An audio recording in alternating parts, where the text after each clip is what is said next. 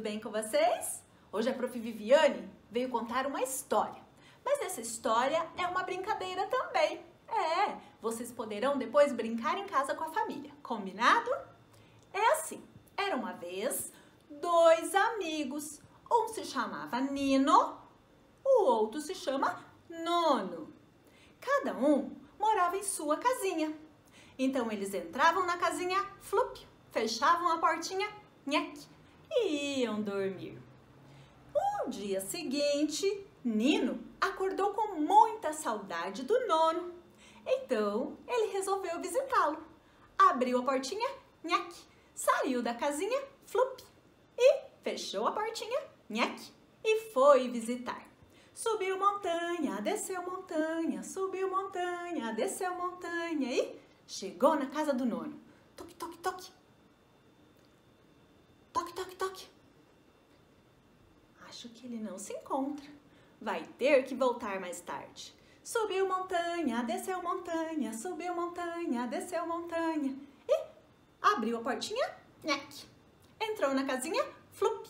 Fechou a portinha, nhaque. E foi dormir. Naquele dia, o nono acordou com saudade do Nino e resolveu visitá-lo. Abriu a portinha, nhaque. Saiu da casinha, flup. Fechou a portinha, nhaque. E foi visitar o Nino. Subiu montanha, desceu montanha, subiu montanha, desceu montanha, subiu montanha, desceu montanha e toque, toque, toque.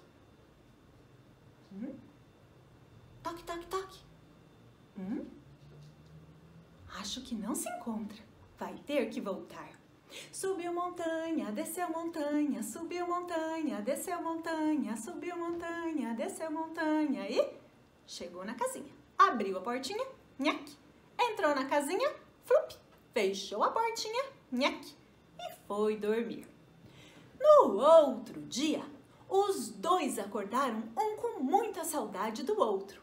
Então, um resolveu visitar o outro ao mesmo tempo. O nono abriu a portinha. Nhaque.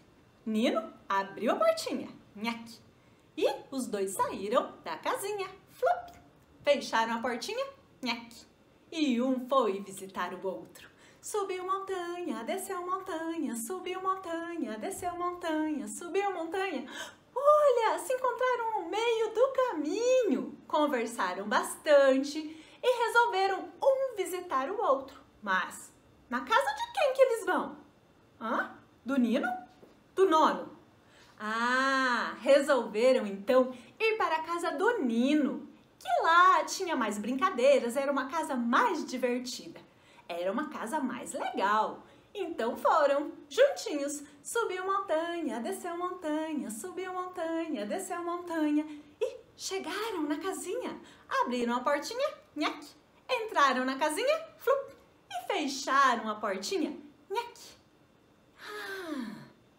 Agora puderam brincar à vontade e matar a saudade. Isso mesmo, essa história entrou por uma porta e saiu pela outra. E quem quiser que conte outra.